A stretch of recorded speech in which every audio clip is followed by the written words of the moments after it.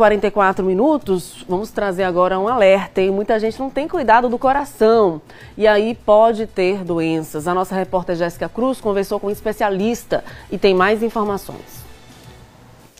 Pois é, tudo que está relacionado ao nosso coração nos preocupa bastante, né? Existem várias doenças que podem atingir o nosso parceiro aqui do lado esquerdo do peito. E a gente vai falar sobre a cardiomegalia. Quem vai nos ajudar a entender sobre esse assunto, sobre essa doença, é o doutor Sérgio Simões, cardiologista. Doutor, muita gente pelo termo não conhece, mas se falar coração grande, já fica melhor para entender, né? Sim, sim. Cardiomegalia significa dizer que é uma alteração estrutural do coração. Qualquer alteração que faça ele crescer, seja dilatar, aumentar o músculo, nós consideramos como cardiomegalia. Ela é muito mais comum com o avanço da idade, mas pode existir desde que nasce. Doenças congênitas, por exemplo. E, mas com, com, com aumentada idade ela torna-se mais comum. A cardiomegalia, por exemplo, pode, geralmente ela é decorrente a um outro problema que foi negligenciado ou maltratado pelo paciente. Por exemplo, uma hipertensão, diabetes, são doenças que geralmente são assintomáticas, o paciente, o paciente fica com ela muitos e muitos anos sem um tratamento eficaz e com isso faz com que o coração possa crescer. Mas também outras coisas, como por exemplo álcool, uso abusivo de álcool, drogas. Obesidade. A obesidade é uma forma de cardiomegalia que pode ser estrutural. Pode ser uma cardiomegalia típica do obeso e não ser por uma doença em si certo? Se o médico chegar à conclusão, por ele não ter fatores de risco além de só da obesidade, que aquele aumento do coração seja só pelo padrão físico dele. Mas geralmente cardiomegalia é decorrente de alguma doença, por exemplo, o uso de medicamentos para tratamento do câncer, pode fazer com que o coração cresça, é, doenças metabólicas, como tireotoxicose, pode fazer com que o coração possa aumentar. Infarto, o paciente não sofreu, não fez o tratamento correto na fase aguda e faz com que o paciente fique com uma, infla, uma inflamação, uma cicatriz que faz com que o coração possa crescer. E várias outras doenças que podem fazer isso.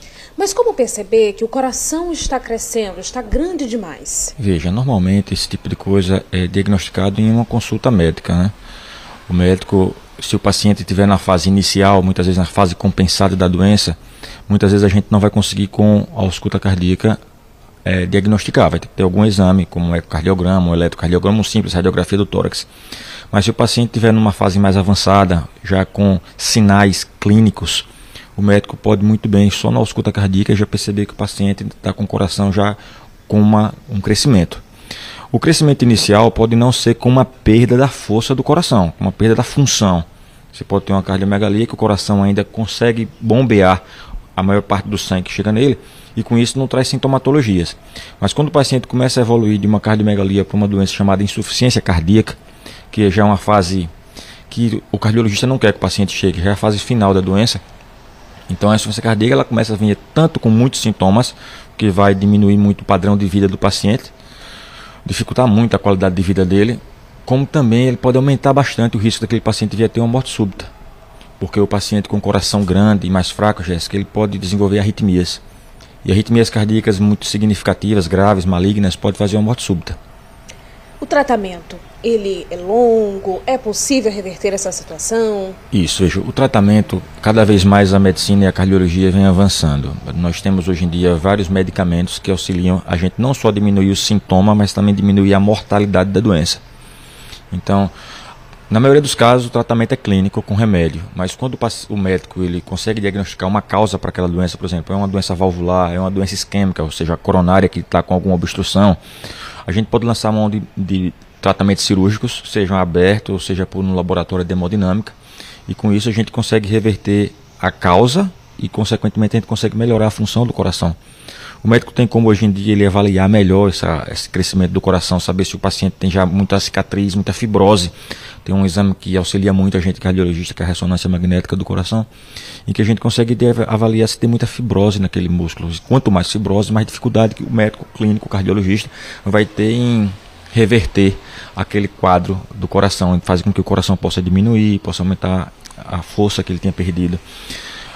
Tratamento que como se diz que é tratamento demorado, hoje em dia na cardiologia a gente sabe que o paciente uma vez com a insuficiência cardíaca, a gente inicia o tratamento clínico, mesmo a tendo um bom resultado, a gente geralmente não retira os, os medicamentos do paciente, porque aquilo ali, a gente sabe que quando a gente retira, tudo que fez com que ele tivesse com que o coração crescesse vai voltar a ter.